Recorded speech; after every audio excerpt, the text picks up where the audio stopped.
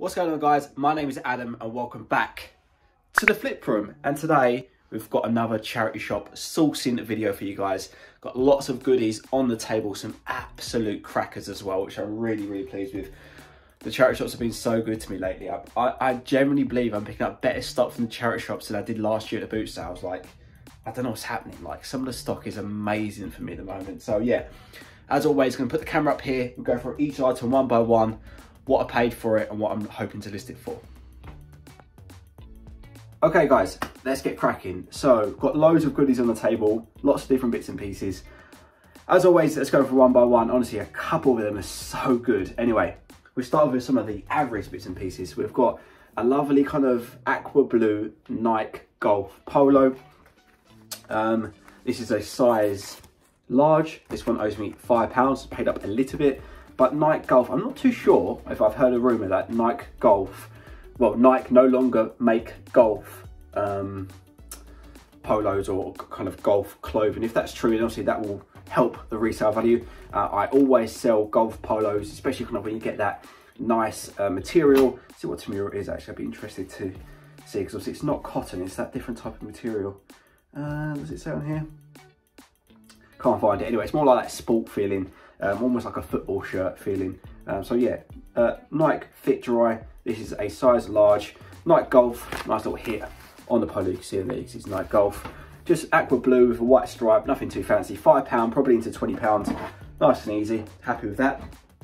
Staying with the clothing, this is only the second piece of clothing. This is a Korda Thinking Tackle, which is actually a fishing brand. Korda is a really well-known fishing brand.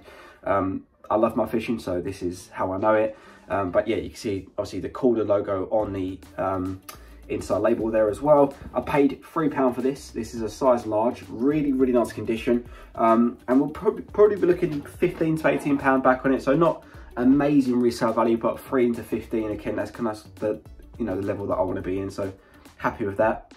Moving on to the shoes, we have a lovely pair of brown desert boots. Um, and these are Russell and Bromley. Not sure if we can make it out in the camera. Russell and Bromley, obviously a very, very good, strong UK brand.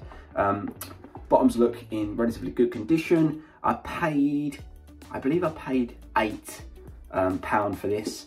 Um, and looking at resale value, it, it, does have a very, very small mark. Not sure if you can make it out on the camera on the back there. Um, it's a size 44, so what's that, a size nine or 10. So again, strong men's size. Overall good condition, nice clean condition, plenty of wear left in that. Um, eight pound, probably looking, just because of the, the slight damage on the back there, probably looking 30 to 35 pound. If, if this was kind of slightly better condition, you'd probably be pushing 40 to 45 pounds. So yeah, I don't come across Russell and Bromley too often, but obviously saw them in the charity shop, had to have them for eight pound, happy with that. Next up, we have a, a reseller's bread and butter. Um, nice and easy.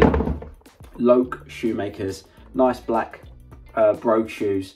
Uh, again, really nice condition. You can see just from the insoles that they've been um, really worn. These are a slightly smaller size, they're a size 7.5 with Loakes. Um, the fitting and the sizing is in the side part here. Um, yeah, I paid up a little bit, so you can see here I paid £15.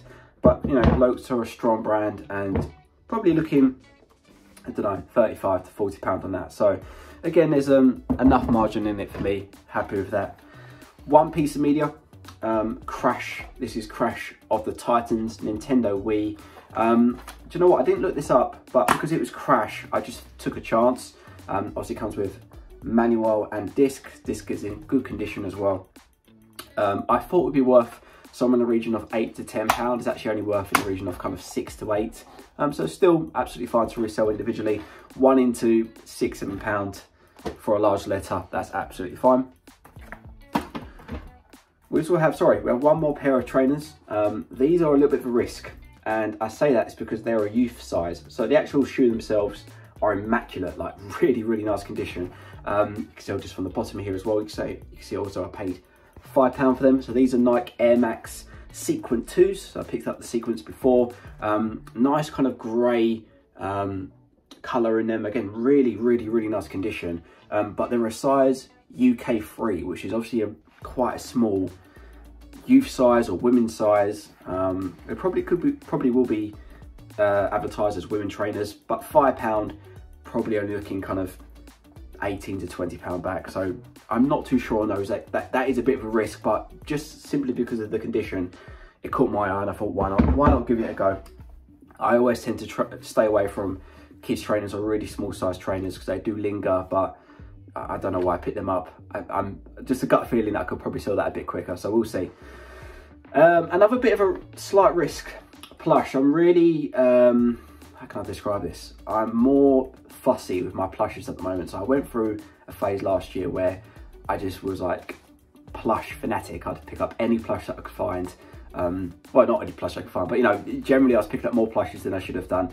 Um, and don't get me wrong, they do hold good resale value when you do sell them, you know, 1 into 10, 1 into 15, for example, but they do linger and they do take up a bit of space.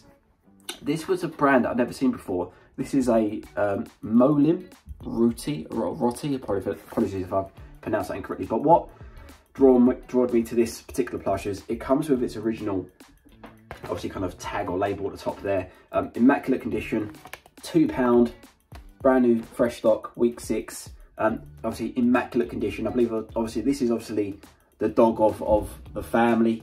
Um, and I did take a quick look and the, the, prices do vary, but I saw this one exact, this exact one sell for 20 pounds. So two into 20 pounds, happy with that. It just depends on how quickly it sells. If it's gonna take six months to sell, then, then yeah, I'm not happy, but we'll see. We will see. Keeping with the footwear before we move on to the two electronics, we have, always good, so we have an Adidas box and a lovely pair of Adidas Campus Vulc 2s. Um, these are quite a different colorway. I don't, I've not seen this colorway before. Obviously, I've picked up many Adidas Campus before, but this is a, a different colorway. This is a size UK 11 and a half, so strong um, men's size. This is a rewind red. I've never said this colorway before, but again, really, really nice condition. You know, amazing condition. Size UK 11 and a half. Again, you can tell by the insole, um, it's been barely worn. Um, slight, some slight kind of fading there and slight fading on the other shoe as well. Um, but overall, you know, these must be worn a handful of times. Comes with the box, pay £10. Again, absolutely happy to pay £10 for those. We'll cross, cross list those probably on Depop, mainly to open a vintage store as well. If you do have a vintage store, please let me know in the comments below. Um, I'm debating opening a vintage store as well. Uh, because it comes with the box, really good condition, good strong men's size, we'll be looking £40 for that, so 10 into 40. We'll see how it goes. I may even aim a little bit higher to begin with and bring down the price if needed. Um, moving on to the electronics. So we have a very nice, just simple, plain, box standard, sharp VHS player. Uh, nothing too fancy. This isn't a kind of uh, recording one or rewrite one or, or you know, th this isn't a fancy one. This is a very, very standard model one. I've sold this exact model before. Comes with the remote, hence I picked it up. It was £9.95. So I paid up, you know, I paid up a bit for this if I'm being honest. But with a charity shop, you know it's PAT tested, which is always half the battle. Um, so you know it should be working.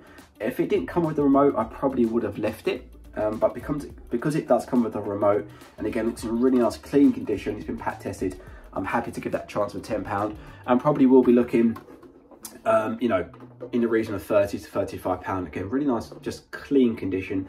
Bundle that up with a SCART lead. And what I like about this particular model, the sharp ones, they're just, they're actually quite small compact. You probably can't see it in the camera, but you know, this is almost like a shoebox size. Some of the VHS players are so big and bulky. But yeah, this one here is just nice and easy, nice and clean. I don't think I'm gonna have any issues with it. Be a bit you know, some VHS players are hit and miss, especially from boot sales, so just be careful with that.